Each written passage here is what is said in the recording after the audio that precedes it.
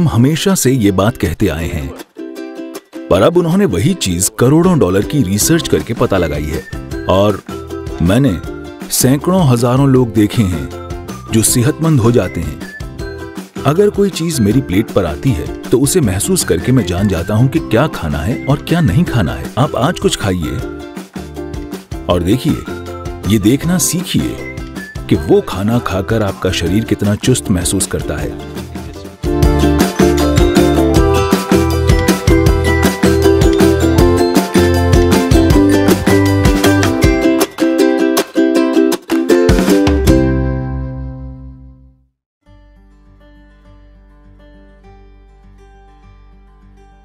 एक सीधी सी चीज़ जिसके पीछे दुनिया पड़ी है। अगर आप हमारे आश्रम में आए तो लोग शारीरिक रूप से बहुत सक्रिय हैं। वे बस सुबह दस बजे खाते हैं और फिर शाम को सात बजे, बस दो बार भोजन। मुझे कितने डॉक्टर कह चुके हैं कि वे कुपोषण से मर जाएँगे। ये हो जाएगा, वो हो जाएगा। आप ये कीजिए, वो कीजिए। ज़्यादातर दिनों में मैं सिर्फ़ एक बार ही खाता हूँ। बस एक बार भरपूर खाता हूँ, इतना ही। डॉक्टर मुझे कह रहे हैं, नहीं सदगुरु, आप इतनी यात्राएँ करते हैं, ये हो जाएगा, वो हो जाएगा। आपको चार घंटे में कम से कम एक बार खाना खाना चाहिए, कुछ तो खाना चाहिए। मैंने कहा, मुझे अकेला छोड़ दीजिए, मैं ठीक हूँ। पर अब अमेरिका की एक बहुत बड़ी यूनिवर्सिटी कह रही है, रुक रुक कर उपवास कीजिए। ये कोई बकवास नहीं है, अच्छी चीज़ है। लेकिन उन्होंने ऐसी चीज़ फिर से खोजी है, जो हम हमेशा जानते थे। अब हर कोई कह रहा है, सोलह घंटे का अंतराल होना चाहिए। फिर सभी बीमारियाँ ठीक हो जाएँगी। हम इतने हज़ारों साल से क्या कह रहे थे? सीधी बात यह है, इसके कई पहलू हैं। मानसिक, शारीरिक। लेकिन अब दुनिया में कैंसर बढ़ रहा है। कैंसर की कोशिका समाज में एक अपराधी की तरह है। हम सबके शरीर में होती है। लेकिन उनकी संख्या जितनी होनी चाहिए अगर उससे बढ़ जाए या सब साथ मिलकर एक जगह जमा हो जाएँ, तो वे अपराधियों के गिरोह जैसी बन जाएँगी। कोच्चि में भी जेब कतरे होंगे मुझे यकीन है। हेलो वे छोटे मोटे अपराधी हैं। जब अकेले या दो तीन मिलकर काम करते हैं तो हम उन्हें गंभीरता से नहीं लेते। हम उन पर ध्यान नहीं देंगे क्योंकि छुटपुट चीज़ें होंगी। पर मान लीजिए ऐसे सौ लोग संगठित होकर अपराध करने लगे तो हम उन पर टूट पड़ेंगे। क्योंकि हम जानते हैं अब वे समाज के लिए खतरा हैं। कैंसर की कोशिकाएँ भी इसी तरह हैं। अपराधी जो यहाँ वहाँ घूमकर कुछ नुकसान पहुँचा रहे हैं, फ़िलहाल उनकी यही समस्या है कि वे बाकी कोशिकाओं के मुकाबले आठ से दस गुना ज़्यादा खाती हैं।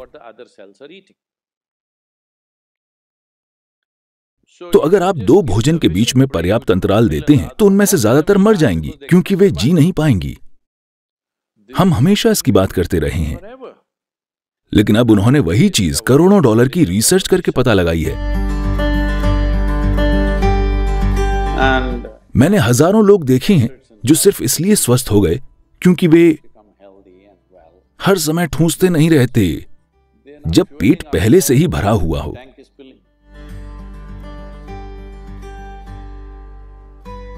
योग केंद्र में लोग हमेशा शारीरिक रूप से सक्रिय रहते हैं।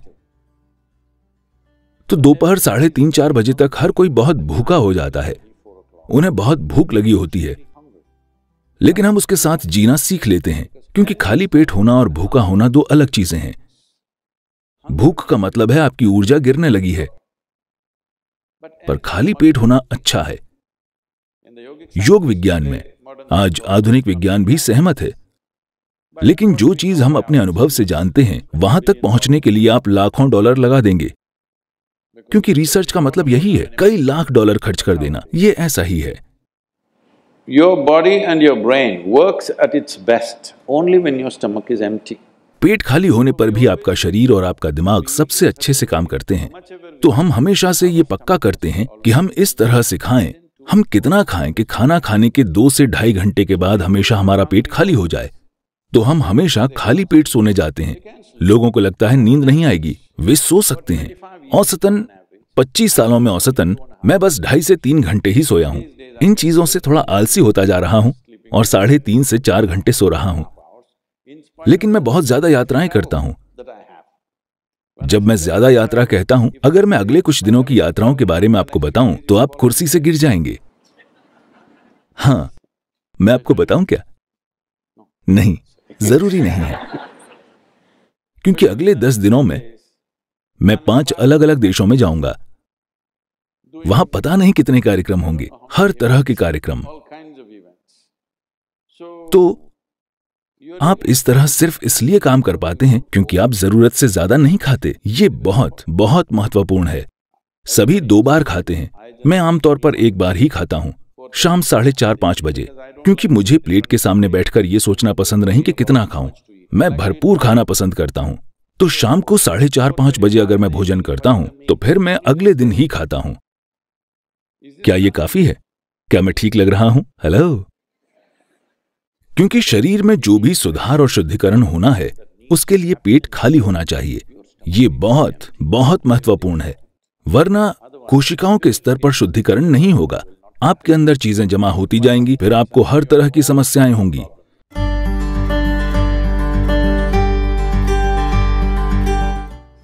जब आप भोजन को छूते नहीं हैं तो आप नहीं जानते कि वो क्या है। अगर भोजन छूने लायक नहीं है तो मैं नहीं जानता कि वो खाने लायक कैसे होगा। तो हमें अपनी माँ की बात नहीं माननी चाहिए थी। और हमें अपनी उंगलियों से खाना चाहिए क्योंकि भोजन को छूकर हम उसके संपर्क में रहते हैं। आप आपके हाथों की सफ़ाई पूरी तरह से आपके हाथों में है। फोर्क की सफ़ाई पूरी तरह से आपके हाथों में नहीं है। ये सच है।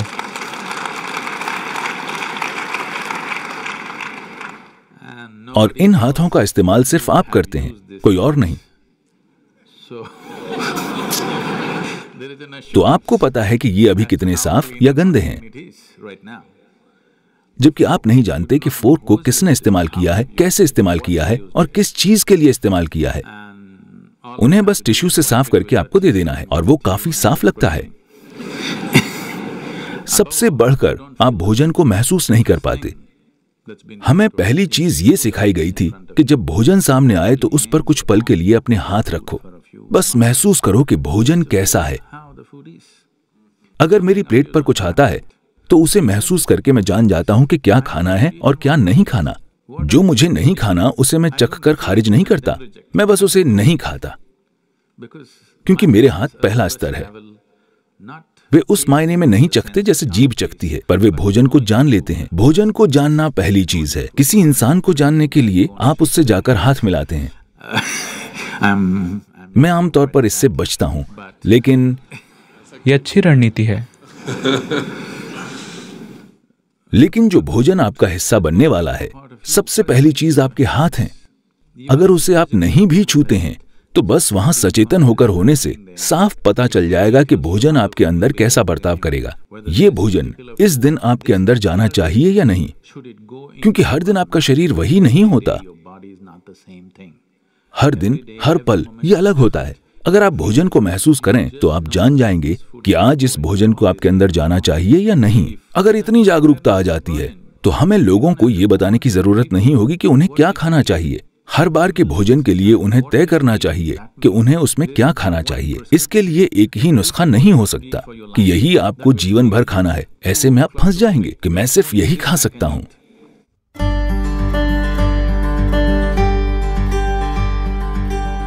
अपने भोजन को चुनना और खाना, ये दोनों चीज़ें सचेतन होकर कीजिए। आप क्या खाते हैं? उतना ही महत्वपूर्ण है कि आप कैसे खाते हैं। जब मैं कहता हूँ कि आप कैसे खाते हैं तो ये सभी जीवित चीज़ें हैं। उनमें से हर एक का अपना जीवन था, चाहे वो सब्ज़ी हो, जानवर हो या पौधा हो, हर किसी का अपना जीवन था। अब आप उसे एक तरीके से भोजन बना दे रहे हैं। Food out of consume it with ut- utmost gratitude. तो आपको उसे चरम कृतज्ञता के साथ खाना चाहिए। अगर आप अपने भोजन के प्रति एक खास कृतज्ञता और आदर की भावना रखकर खाएँगे, जब मैं आदर कहता हूँ तो यह आपको अजीब लग सकता है, लेकिन मैं आपसे पूछ रहा हूँ। मान लीजिए हम आपको एक कमरे में बंद कर दें और आपके पास पाँच दिन खाने को कुछ न हो। अगर आपके सामने भगवान आ जाए तो आप क्या मांगेंगे? खाना? तो ये इतना ही महत्वपूर्ण है। आपको समझना चाहिए कि आपकी थाली में भोजन बस कोई पदार्थ नहीं है। ये कोई सामान नहीं है। ये जीवन है। ये आपके लिए जीवन निर्माण का पदार्थ है तो आपको इससे वैसा बर्ताव करना चाहिए। अभी जब ये थाली में है या बाहर कहीं है तो इसकी कोई कीमत नहीं है। लेकिन जिस पल आप इसे खाते हैं, तभी आपका खून और मांस बन जाता है। अब अचानक ये बेशकीमती हो जाता है। हम ऐसे क्यों नहीं जीते हैं? ये बहुत महत्वपूर्ण है कि जब ये आपकी थाली में आए तो आप इसे अपने एक हिस्से की तरह देखें। बहुत आदर के साथ आपको इसे खाना चाहिए। अगर आप बस अपने खाने का तरीका बदल दें तो भोजन आपके अंदर बहुत अलग तरह से बर्ताव करेगा। चेतना का यही मतलब है। अगर लोग कहते हैं, आपकी चेतना का आपके जीवन पर कोई असर नहीं होगा, सिर्फ़ रासायनिक संरचनाओं का असर होता है तो मुझे उनके लिए दुख होता है, क्योंकि जीवन ऐसे काम नहीं करता। मानव चेतना का हमारे संपर्क में आने वाली हर चीज़ पर गहरा असर होता है, खासकर भोजन पर। हम एक दूसरे जीवन को अपना हिस्सा बना रहे हैं। जब हम ऐसा काम करते हैं तो ये बहुत महत्वपूर्ण है कि हम उसके साथ बहुत कृतज्ञता और आदर का बर्ताव करें।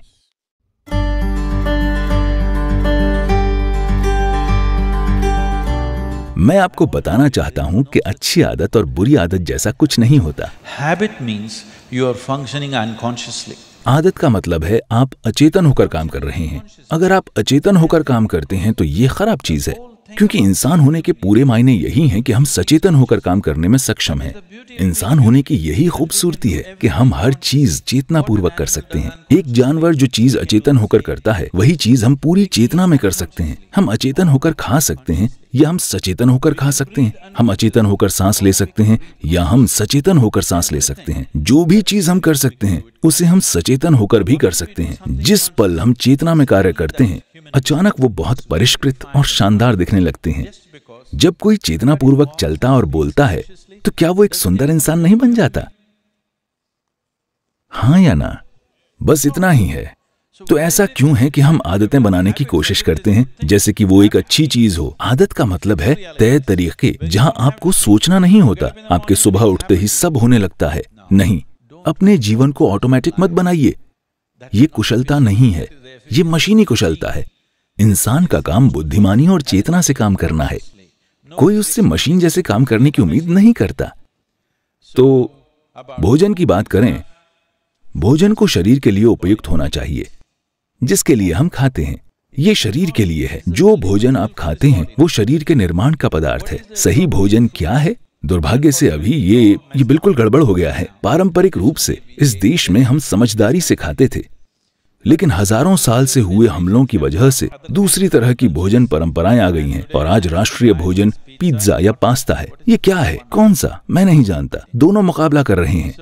तो हम भोजन के बारे में अपनी समझ खो रहे हैं। अब समय आ गया है कि हम सबसे अच्छी चीज़ पहचाने। अगर मैं इसके विस्तार में जाऊँ तो ये लंबी प्रक्रिया हो जाएगी। लेकिन आपको भोजन को परखना चाहिए। बस जीव से नहीं, बल्कि शरीर से भी। आप आज कुछ खाइए और देखिए। बस ये देखना सीखिए कि वो खाना खाकर आपका शरीर कितना चुस्त और फुर्तीला महसूस करता है।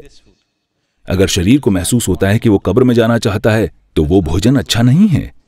अगर वो भोजन खाकर उसे लगता है कि जीवन जीना चाहिए, कॉफ़ी को छोड़कर, क्योंकि वो उत्तेजक है। अगर खाना खाकर शरीर चुस्त और जीवंत महसूस करता है तो इसका मतलब है वो भोजन अच्छा है, शरीर उसे पसंद कर रहा है। अगर आप कुछ खाते हैं और शरीर में सुस्ती महसूस होती है तो उसका मतलब है कि शरीर को भोजन पसंद नहीं है, उसको उससे परेशानी हो रही है, इसलिए सुस्ती महसूस हो रही है। तो बस इस आधार पर। मेरा मतलब है, ये एक बहुत ही सीधा और आसान तरीका है।